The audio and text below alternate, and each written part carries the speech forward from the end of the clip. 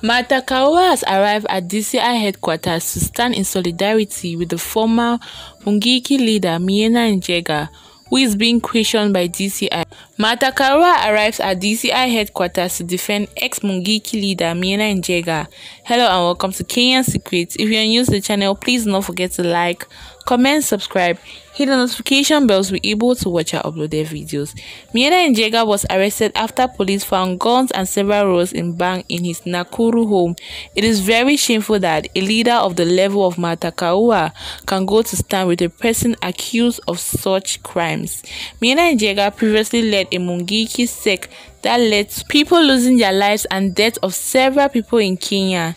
It is therefore unfortunate that Azimio leaders are playing politics with everything. Maina Njenga is also accompanied by, among other leaders, Jeremiah Kioni, Eugene, and a host of other leaders. Maina Njenga has remained firm and clear that guns and bhang that was found in his home has nothing to do with him.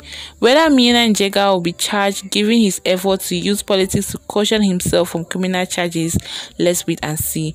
Maina Njenga has been accused of serious crimes as well as previously survived serious In other news, Azimio Coalition yesterday press briefing in Nairobi told Kenyans that they warned them during campaign period period to avoid electing Ruto. This statement comes after a race of corruption deals rocking Kenyan Kwanza regime. The coalition warned Kenyans that the country is slipping back to the days of corruption and major scandals. As he moved further revealed another scandal in the making, Mr. Eugene was speaking on behalf of the coalition disclosed that the tractors the government is urging from Belarus is another scandal that will shock Kenya. As we warned you during campaign, the history of our opponents is known since the YK92 era. The days of corruption and scandals are back in Kenya. Fertilizer, poison sugar, the KEMSA net scandal, and tractors from Belarus, which is another scandal in the making in the transport sector. Azimio clarified that they will be having another press briefing on Tuesday to talk in depth about recent corruption scandals and the move by Kenyan Kwanza to take political parties' lives and the spirit of multi-partyism. Also, the coalition stated that they will address the suppression of devolution by William Ruto's government. On Tuesday, we will be addressing matters on corruption substantively, an attempt by Kenyan Kwanza administration to take political parties' lives and political democracy. Also, the further said that the bipartisan dialogue will remain suspended until Tuesday when the coalition will issue a substantive statement. The bipartisan talks remain suspended until Tuesday when we make the substantive statement. Finally, President William Ruto has received yet another setback as religious leaders make their stand on against Kenyan Kwanza financial bill. Ruto suffers from another setback as religious leaders gang up against taxation.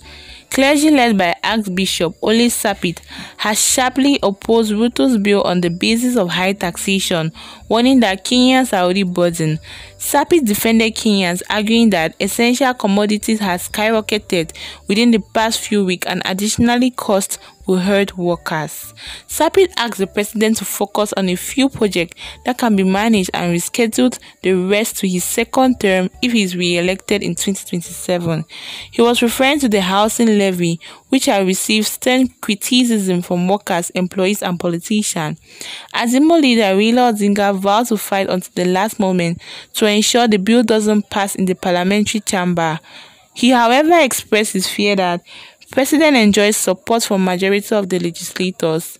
Deputy President Rigathi Gachagua earlier defended Kenyan Kwanza government against accusation it has made life even worse for its citizens, saying the new government found the economy already in a bad state and has been trying to resurrect it. Hope you enjoyed the video and please do not forget to like, comment, subscribe, hit the notification bell to be able to watch our uploaded videos and have a blessed day.